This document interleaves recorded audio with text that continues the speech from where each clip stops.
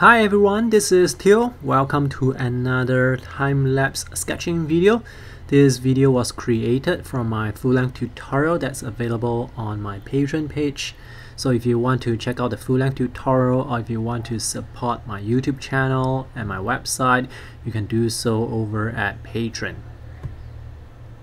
Patreon is basically a monthly subscription service where you can pledge a certain dollar amount to help out the artists that you like. I will also be making this tutorial available on my Gumroad page in the future, bundled with other sketching tutorials. Now the full-length tutorial is 30 minutes long. This video that you're watching now is the condensed version, which is only 7 minutes. But I'm still going to talk about some of the sketching techniques that I used for this particular sketch. This sketch was drawn from a reference photo that was taken in front of a Chinese temple. These stalls, they were selling flowers and joss sticks and also other offerings to the gods. So what caught my attention was the bright yellow and red umbrellas that these stalls were using. There were also a lot of people there on a weekend so I wanted to basically capture the energy of the place and also the bright yellow and red umbrellas for this sketch. If you want to check out the reference photo, it's in the video description below. Right now I am using my Pelikan M200 fountain pen to create the line art so when I'm drawing this scene, I will draw from the big shapes to the smaller shapes.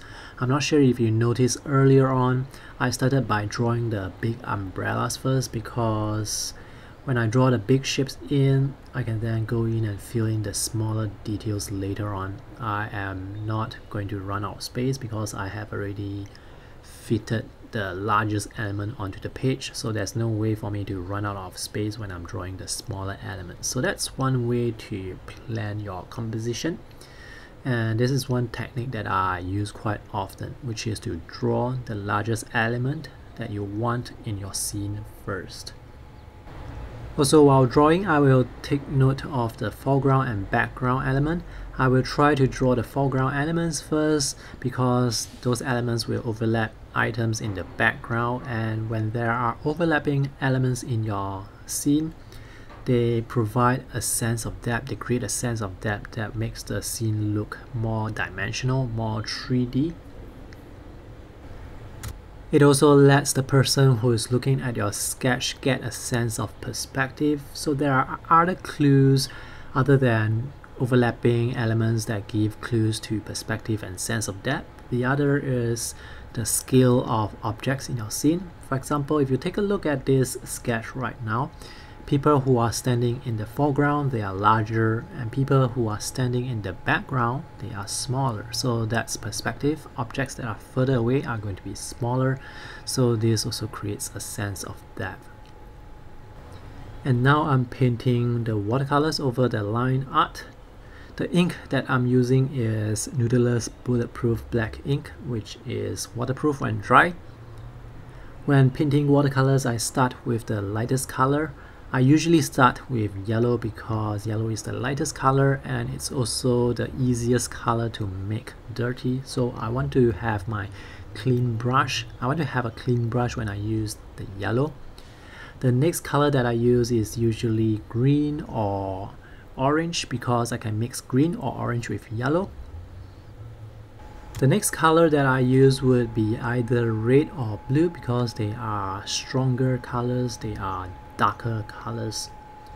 I do not after I fill up all the scenes with the bright colors, I will mix gray tones to fill in the shadow areas and after everything is dry, I will apply another layer of shadow tones just to provide that extra contrast Usually when you look at scenes in the real life, the dark areas, especially the shadow areas, they are very dark. They are almost close to black. So you want to capture that contrast. Contrast works for colors, contrast works for line drawing, for values as well. When you place a bright color against a dark color, the bright color will look brighter. So if you were to paint a color against white background, the white of the paper, then the color may be bright, but it's not going to be as bright if you were to paint it with a black or darker background.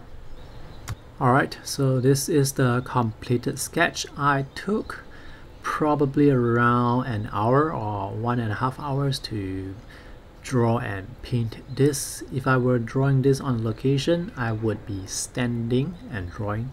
If I were to sit down, the view that I will look at will be different.